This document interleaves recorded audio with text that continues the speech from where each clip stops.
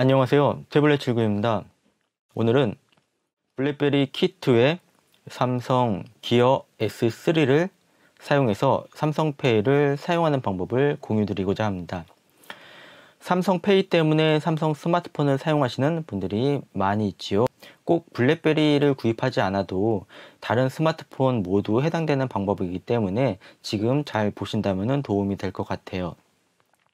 최신 삼성 액티브나 워치 시리즈를 구입하게 되면은 티머니 기능밖에 없어요.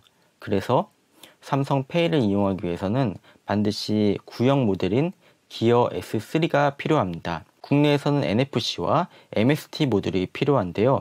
MST 기술은 국내에서 사용할 때그 마그네틱 결제 시스템을 자기장을 구현해서 일반 카드 리더기에 가져다 찍 긁기만 하면은 카드를 긁는 것과 동일한 방식의 결제가 가능하기 때문에 꼭 핸드폰을 키지 않고도 네. 결제를 할 수 있는 방식이에요. 예.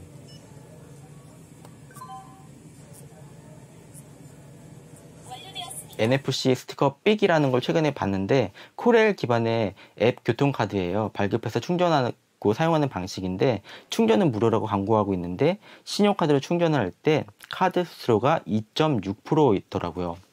그리고 충전 금액을 환불하면 수수료가 역시 500원이 필요합니다. 그리고 티페리 제품도 있어요. 티머니 방식을 사용하는 NFC 스마트 밴드인데요. 후불제가 아니라 충전을 해줘야 되고 또 충전할 때 수수료가 3%예요. 이 두 제품 모두 이렇게 사용할 수 있는 곳이 제한적이라는 또 단점이 있어요. 반면에 삼성페이는 아무래도 후불제라서 편리하지요. 또 삼성페이는 카드사의 수수료를 받지 않습니다. 네, MST 모델은 아쉽게도 삼성 기어 S3가 마지막 모델이고 이후 출시되는 제품은 없기 때문에 구형 모델을 써야 된다는 단점만 극복을 한다면은 굉장히 편리한 방법이라고 할 수 있겠습니다. 제가 최근에 2020년 5월 기사를 봤어요. 이 기사를 봤을 때 제가 8월 달에 봤는데 그때는 이미 어, 기어 S3를 구입했을 때예요. 기사를 늦게 본 거죠. 근데 삼성페이가 3년 만에 삼성페이 미니를 접는다는 내용이에요. 굉장히 충격적이었어요. 이유는 최근 들어 이 서비스의 이용자가 급격하게 줄었기 때문이라고 하는데 구글 플레이 스토어가 아닌 다른 store에서 APK 방식으로 다운을 받아갖고 설치를 하면은 다행히 동작은 해요. 동작할 수 있었던 이유가 삼성페이 미니 기존 고객들에게 불편함을 주지 않기 위해서 서비스는 지속적으로 하기 때문이라고 하네요. 이 삼성페이 미니 앱을 실행시켜주고 그 다음에 기어 S3도 이렇게 꾹 눌러주면은 삼성페이가 실행이 되면서 카드를 추가할 수 있게 돼 있어요.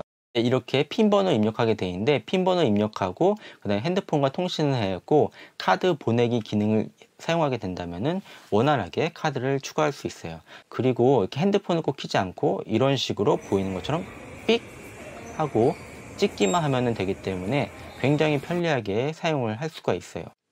이 방법을 이용하기 위해서는 반드시 두 제품이 블루투스로 연결되어 있어야 됩니다. 이상으로 영상을 마치도록 하겠습니다. 감사합니다.